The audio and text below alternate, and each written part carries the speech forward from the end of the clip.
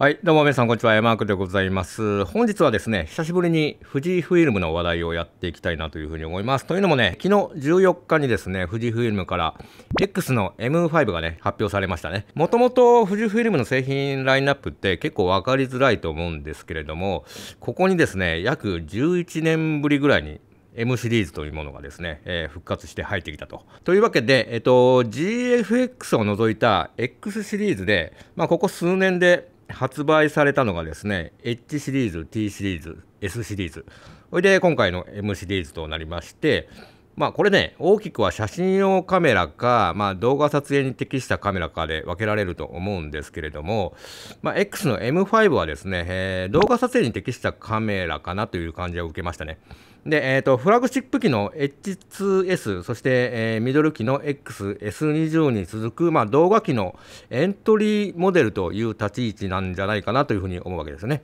で、これ、まあ、他社で言うと、まあ、ソニーの ZV-E10 に近いカメラなんじゃないかなというところで、まあ、軽量コンパクトな、えー、気軽に持ち出せる Vlog カムみたいな立ち位置なんじゃないかなというふうに思います。で、えー、実はですね、今、手元に、えー、製品自体はないんですよね。なんですけど、まあ、これまでね、富士フィルムのカメラをですね、まあ、特に、えー、動画に適したカメラをですね、まあ、かなりね、数多く使ってきた、まあ、経緯がありますので、まあ、X の M5 がですね、どういうカメラかっていうのは、まあ、大体予想つきます。はい。もうこういうカメラだなっていうのはね、えー、わかるんですね。なので、まあ、どんな方にお勧めできるのかっていうところと、まあ、どんな用途に使えるのかっていうところをですね、この動画ではご紹介をしていきたいなというふうに思います。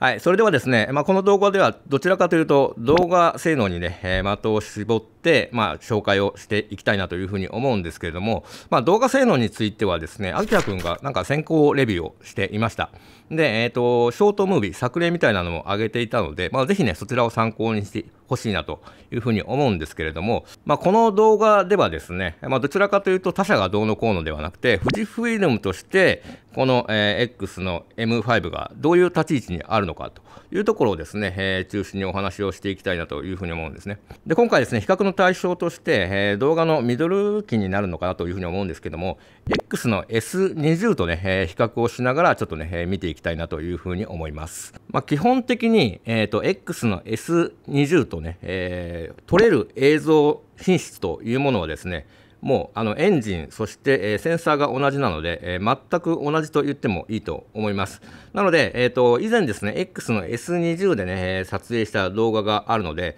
まあ、それをちょっとね、見てもらいたいなというふうに思うんですが、あのこの動画を見てもらう限りあの画質の素晴らしさっていうのは、まあ、すごく伝わるんじゃないかなというふうに思うんですね。で X の S20 が、えー、僕が使った感じで言うと、えー、かなり動画用途向けで、えー、かなり高品質な映像が撮れるおすすめのカメラということでね、え紹介した経緯もありますので、まあ、それにそれとね、え同じような映像品質が得られるこの M5 もですね、えー、かなり動画向けのカメラということが言えると思います。では、具体的にじゃあ S20 と何が違うのかというところをですね、まあ、ちょっとね、えー、見ていきたいなというふうに思います。はい、まずね、えー、センサーエンジンなんですけども、えー、この辺はですね、えー、X の M5、そして XS20 両方ともね、同じものを積んでおります。まずセンサーはですね、え、第4世代の X トランス CMOS となっております。今ね、一番新しいのが第5世代なんですけれども、実はこの第5世代の裏面照射で2610万画素クラスのものが、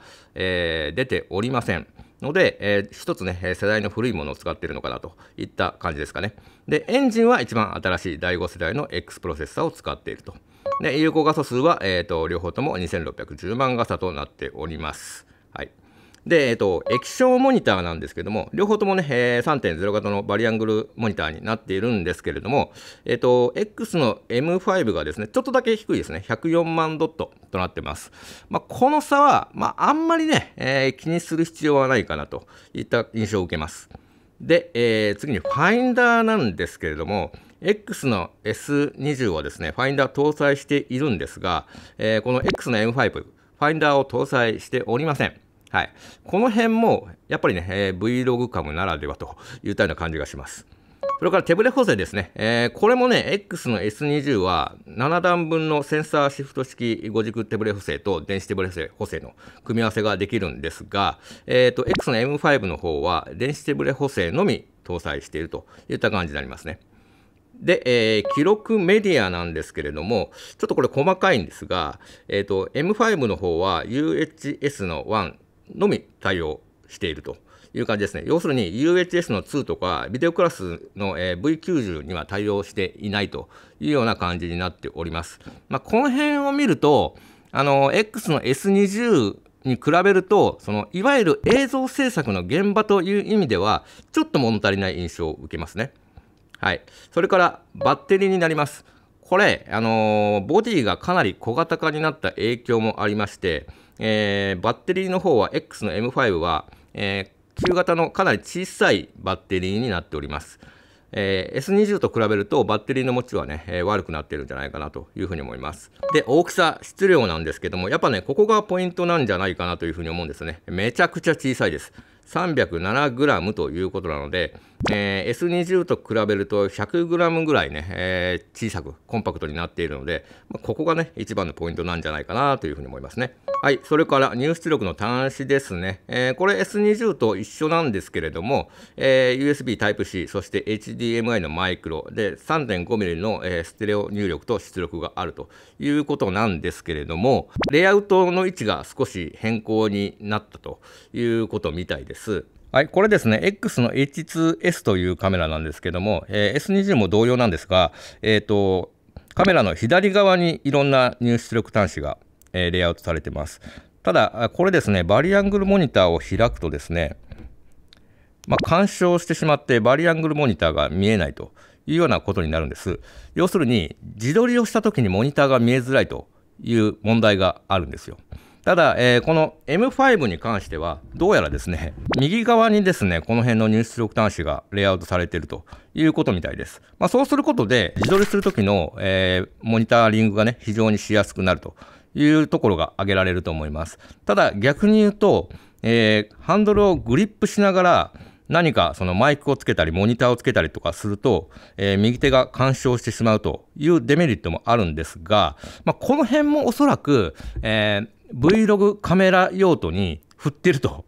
いうことがね、ここでも言えるんじゃないかなというふうに思うんですよね。はい。ということで、ボディが小さくなったから入出力端子を右側に持ってきたというよりは、えー、Vlog 撮影でグリップをつけて撮影するっていうのを前提に、えー、バリアングルと干渉しない、えー、入出力端子をねえ、持ってきたということが言えるんじゃないかなというふうに思います。なので、まあ、この辺を見ても、その映像制作者が使うカメラなのか、自撮り用のカメラなのかというところで S20 とね、えー、大きく違うところなんじゃないかなというふうに思いますね。はい、それからですね、えー、内蔵マイクなんですけれども、えーと、M5 がですね、なんかどうやら新しいマイクを搭載したということで、なんか内蔵マイクを3つ搭載しているらしいんですよね。これによって前方、それから後ろ側、まあ、両方のね、音を収録することができるということで、ここもかなりね、Vlog カムというところをね、意識した、えー、作りになってるんじゃないかなというふうに思います。それではね、えー、動画設定のところもね、えー、見ていきたいなというふうに思います。えー、X の M5、そして S20 ともにですね、えー、6.2K の 30p、42210ビットの撮影ができます。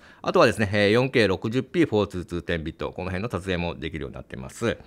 えー、それからですね、えー、X の S20 の時にロングプレイ LP っていうねモードがあったんですけど動画を長く記録できる設定らしいんですが、えー、S20 の時はフル HD のみだったんですけども、えー、こちら 4K にも対応したということみたいです。なのでまあ 4K 時代の今ね、えー、Vlog の撮影で長時間回すことができる、え、カメラということが言えるんじゃないかなというふうに思います。えー、それからですね、えー、これね、使うかどうかちょっと微妙なんですけど、えっ、ー、と、ログ撮影に対応していて、えー、F-Log2 というね、比較的新しいダイナミックレンジの広いね、えー、ログ撮影も、えー、対応可能ということになってます。えー、それからですね、えーと、これもかなりマニアックな話なんですけども、HDMI 出力で、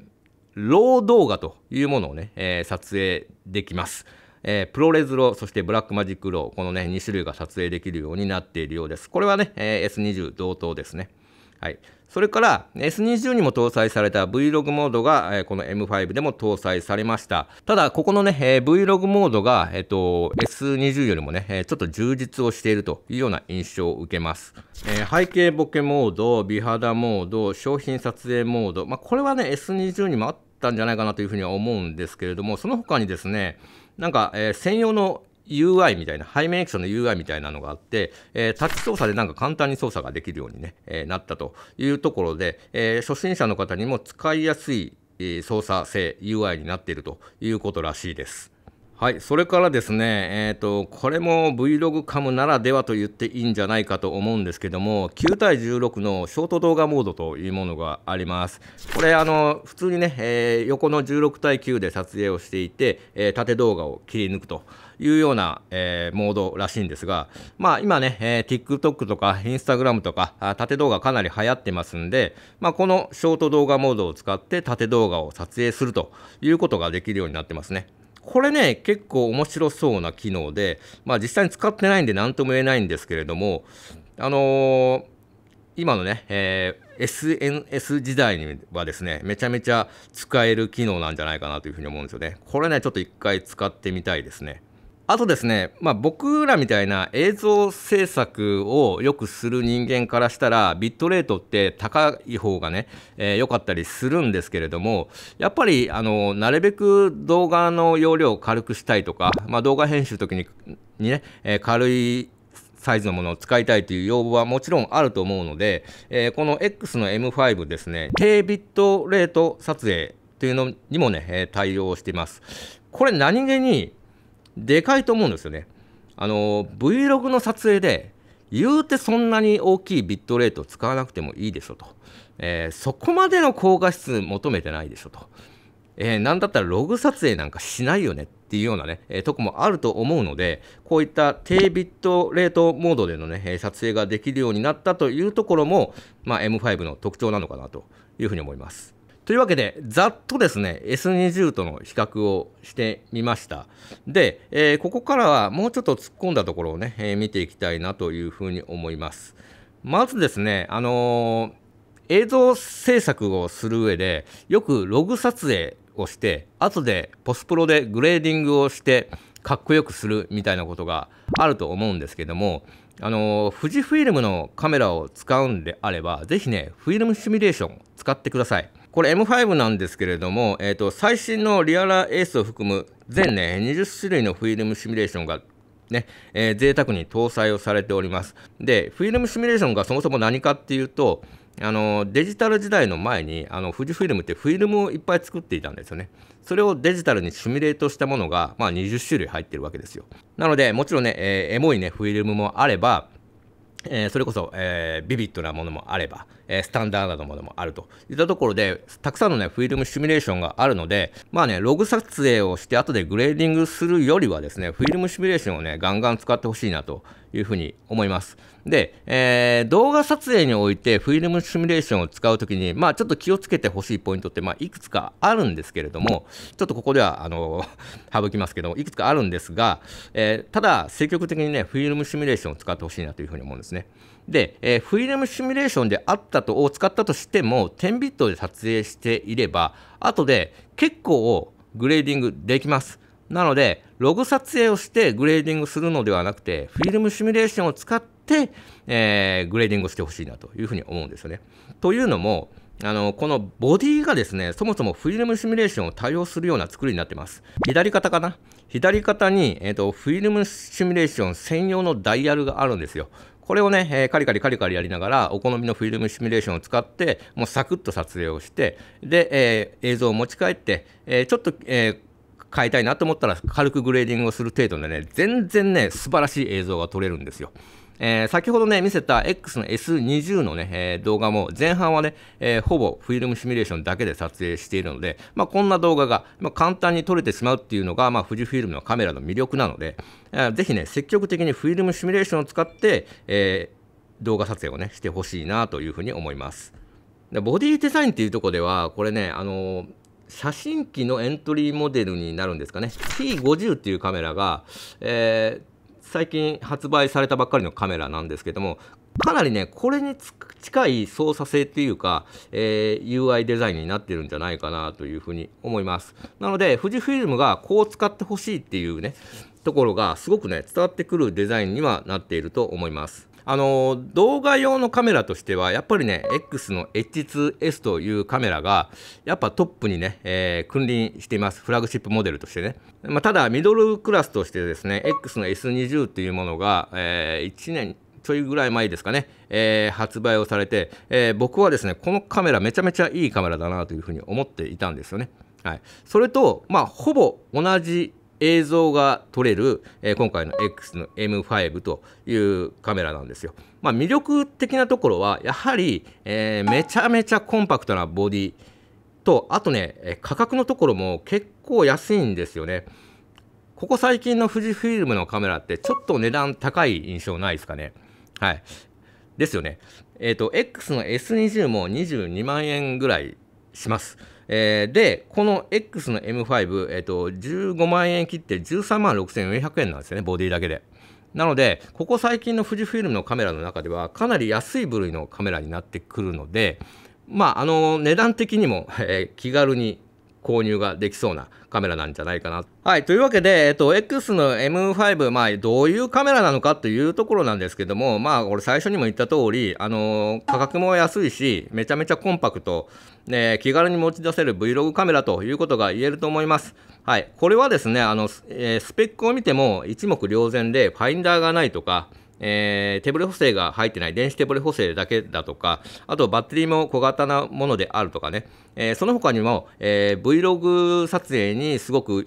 優位な、えー、動画設定がね、いくつか入っているとか、もうこれ、もう本当、Vlog カムだと思います、僕は。あのー今ね、え、ソニーとか、えー、パナソニックとかも出してるのかな、Vlog カムっていうのが今流行ってますけども、え、それに、えー、近づけた、えー、カメラなんじゃないかなという立ち位置だと思いますね、この M5。はい、で、えー、どういう人におすすめかっていうと、やっぱり、えーと、旅をしたりとかですね、あの日々の、ね、生活をですね、えー、動画として残したい方にはね、めちゃめちゃおすすめできるカメラだと思いますね。はいえー、僕もですね、えーと、映像制作のサブ機としては、ちょっとね、えー、しんどいかなというような印象を受けるんですけれども、えー、例えば、えーと、このカメラで Vlog 撮影をしたいというのであれば、めちゃめちゃいいカメラだと思うので、えー、Vlog 用のカメラとして、まあ、1台購入してもいいかなというふうにね、まあ、ちょっと感じてるんですね。まあ、動画性能自体はですね、もう本当にあのー